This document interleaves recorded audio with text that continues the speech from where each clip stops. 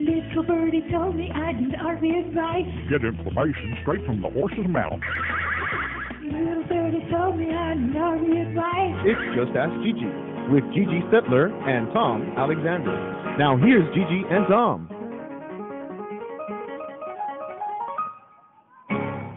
Hi, everybody. Welcome to Just Ask Gigi. My name's Tom Alexander, and of course, this Hi. is Gigi Stetler. And uh, today's show, we're actually going to go out in the field, Gigi. We're going to go out and do a little uh, uh, troubleshooting, if you will. Yeah, a little.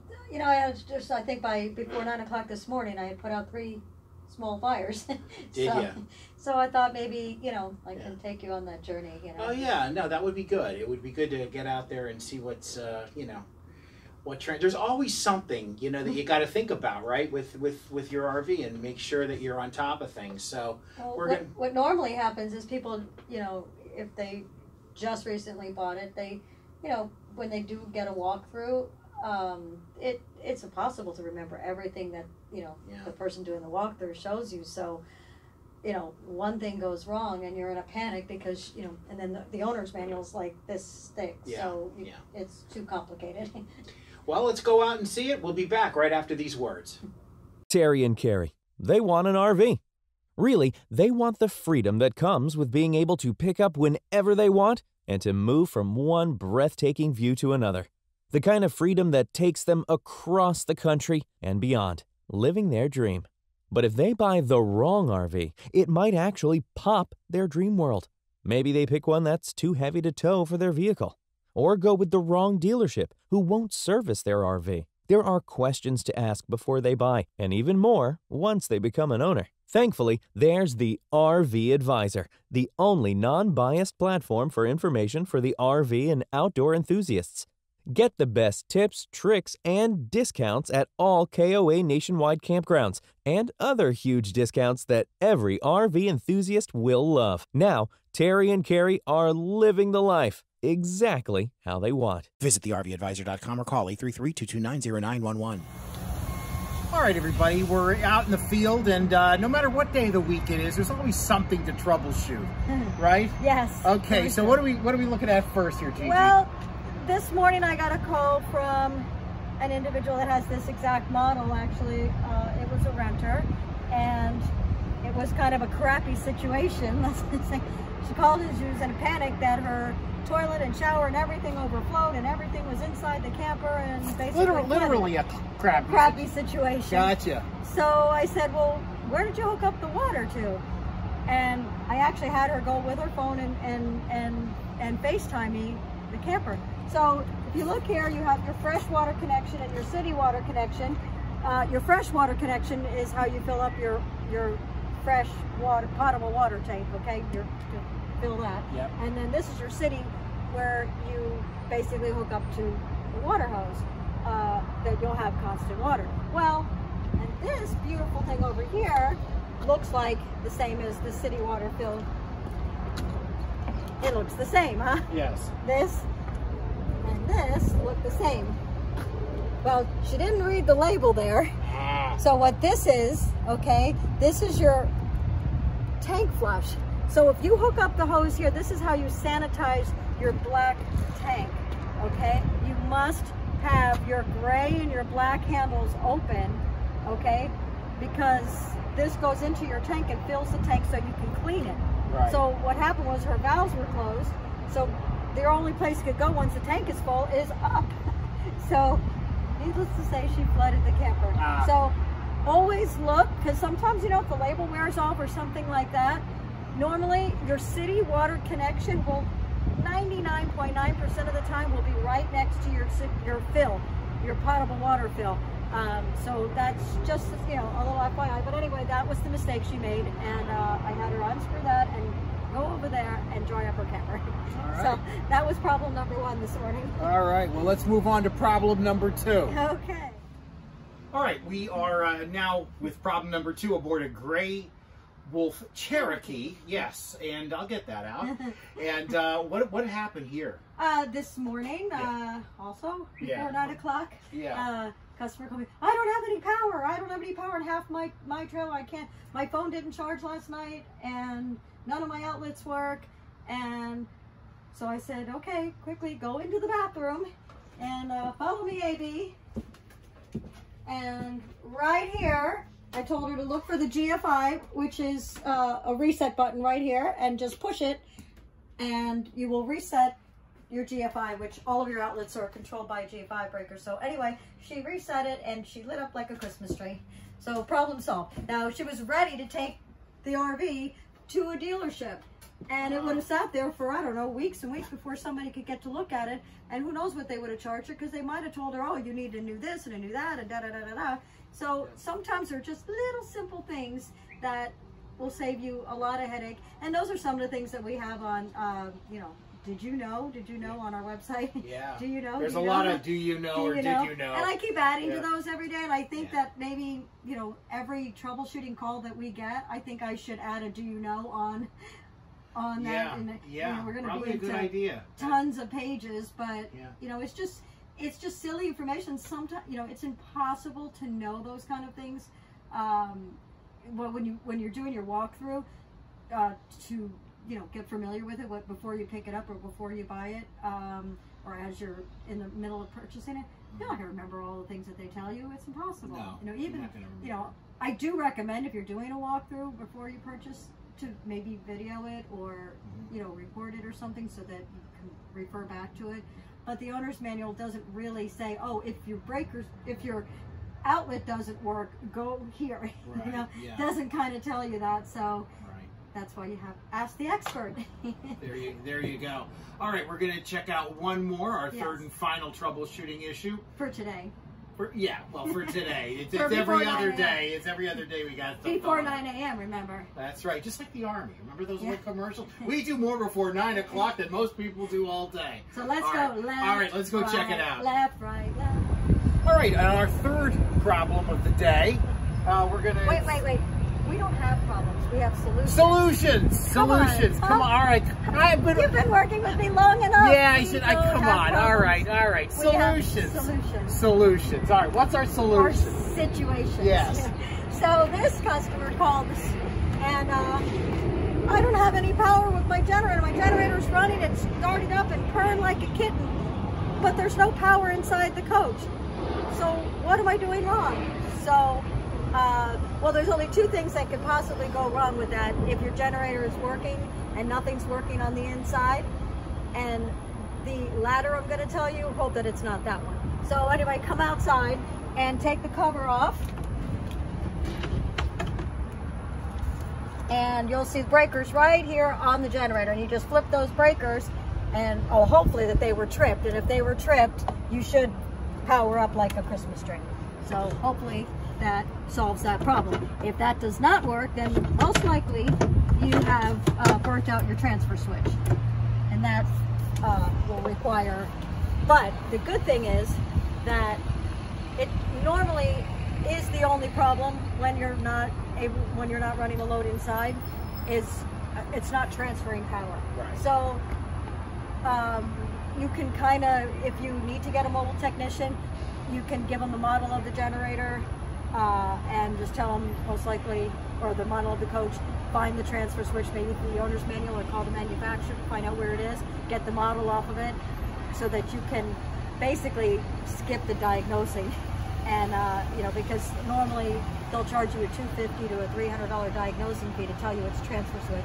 So I can pretty much 99% positive that it's a transfer switch if it's not your breakers. Great. Well, very helpful. Three issues, three solutions, right? All right. Yes. Okay, we're going to go back in and we're going to answer your questions. That's coming up next. Awesome. And we're back on Just Ask Gigi with Gigi Stetler.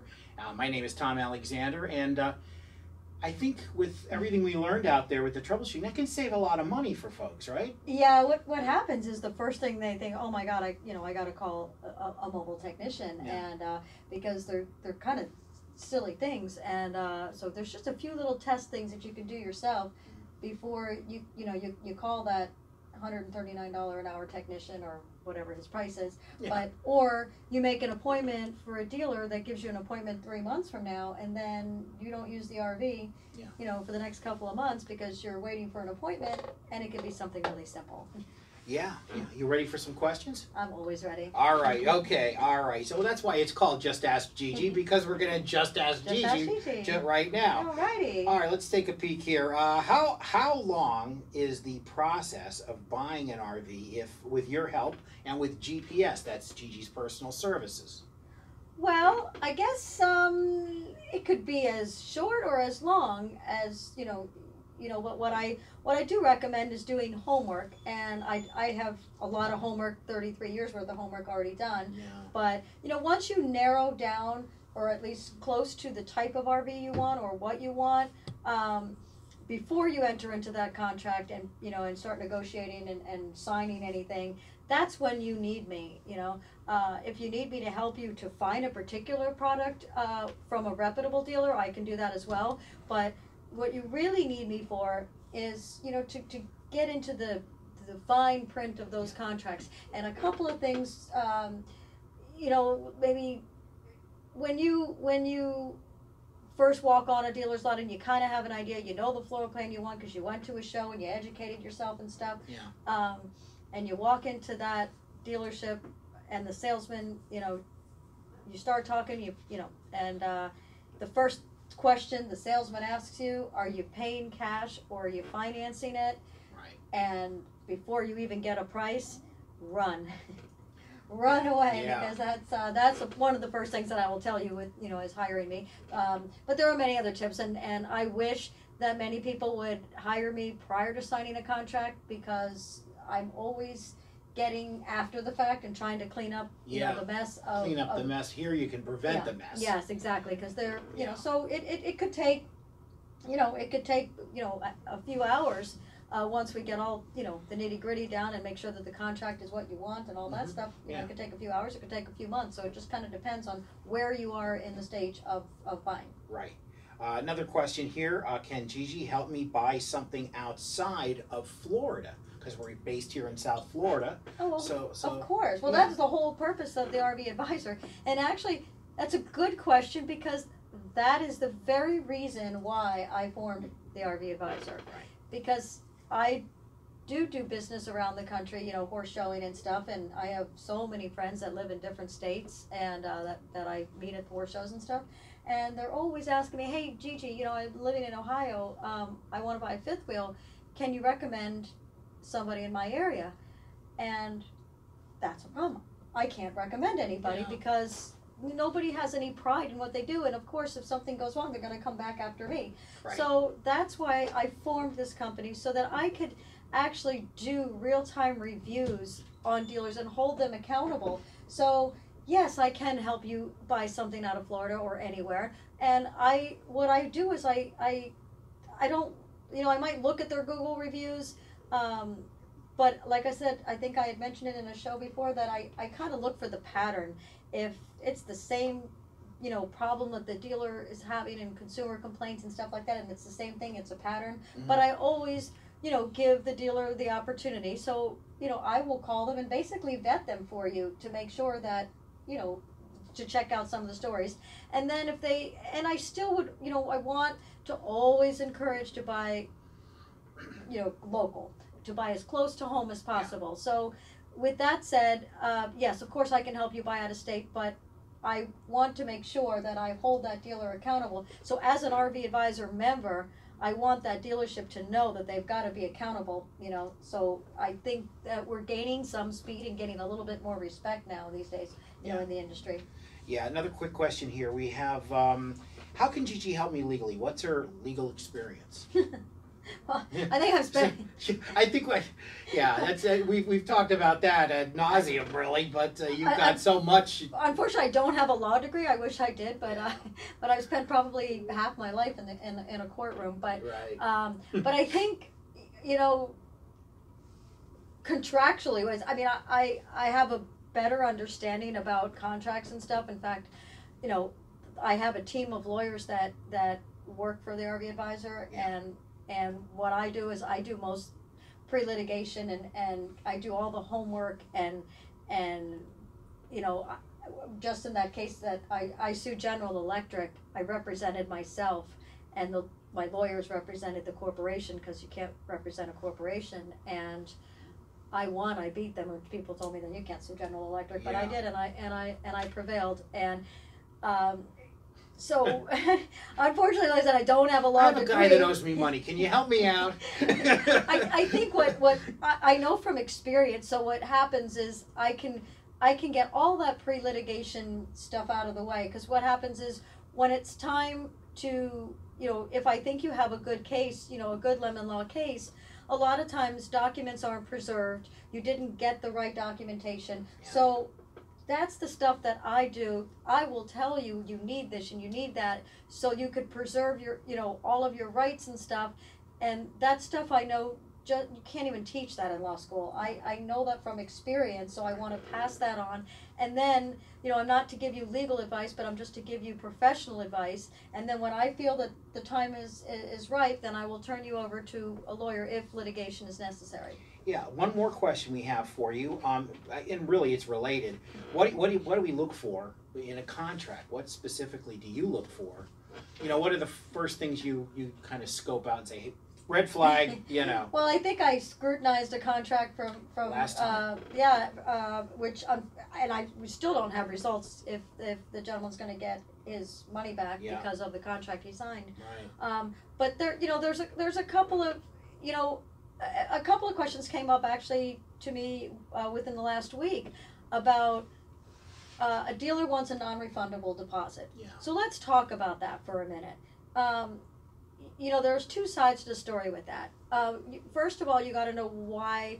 Uh, you know what? What are the contingencies on the non-refundable deposit? If you're asking a dealer to take it off the market, um, and maybe you want uh, you you're going to tender a deposit for him to check out the vehicle to do a PDI, um, and and then you're going to determine if you want to buy it. So if the dealer does do all of that and they do do a PDI, and then you decide you don't want it, um, and the dealer has spent that time and effort, um, you know. If you don't have any contingencies, well, if the air conditioner's not working, I'm not going to buy it. You know, and so there's it- you know, but you can't expect a dealer to take something, especially a used unit, or you know, to take it off the market um, with you to because what happens with customers as well is customers will say, "Here's my five hundred dollars." They'll go to every dealer in town and put a five hundred dollar deposit on a vehicle, you know, and take that off the market while they go off and shop, you know, other dealers. So it's not fair. That's not fair either. Yeah. You know, so this non-refundable thing, it, you, it's a relationship. So you've got to work it out with the with the dealer, the customer, and say, listen, I'm willing to take a risk, and here's five hundred dollars, you know, for you to go through the unit and tell me everything that's wrong with it, and you know, and then I can make that decision. But but negotiate up front. Like what what we do in my personal dealership is when we take a deposit, it's subject to everything working. So Mhm. if if let's say I sell something used for uh, let's say it's a ten thousand dollar used trailer. And I make it subject to everything working. And after I do a PDI on it, and I said, oh, the generator doesn't work, and this doesn't work, and that doesn't work, I'll go back to the customer and say, you know, here's your money back. I can't sell it at that price because it's got all these things, and then the customer can either renegotiate or take it as is, or pay to fix it, or at least give, you know, give, you know, the customer the option Right. you know so so that refundable you know when you give somebody to stay in a very small amount of you know a good faith deposit you know between a hundred and five hundred dollars i think is fair uh, you know for a dealer to go through the exercise and take it out of inventory. Um, if it's subject to credit approval or financing that's a different story that's always refundable you know so if but if you're paying cash that's where the fine line comes in. What are you willing to accept and what is the willing, dealer willing you know to to to do for you? And that those terms and conditions need to be spelled out on the contract. Well, that was good. Very helpful. Very helpful information. We're going to be back to wrap things up in just a moment. The most experienced RV traveler knows it's important to expect the unexpected. Trust the RV Advisor Roadside Assistance Plan, starting at just $99 per year. It's the industry's most affordable plan and offers the most value compared to competitors, covering RVs, towed vehicles, personal vehicles, horse trailers, bike trailers, and more. Visit the RVadvisor.com or call 833 229 0911. The RV Advisor Roadside Assistance Plan. Don't hit the road without. Wrapping things up now on Just Ask Gigi, along with Gigi Stetler. My name is Tom Alexander, and next week, Gigi, uh, our operations man- manager, Christina Yeah. Hurst, is going to join us. We're going to talk warranties, extended warranties, insurance, all, all the all the news that we need to know, uh, basically, to uh, Yeah. move forward, do the right thing, right? So that's next time on Just Ask Gigi for our producer, AB Batista. My name's Tom Alexander, and of course, this lady right here is the star of the show, Gigi Stetler. We'll see you next time. So long, everybody.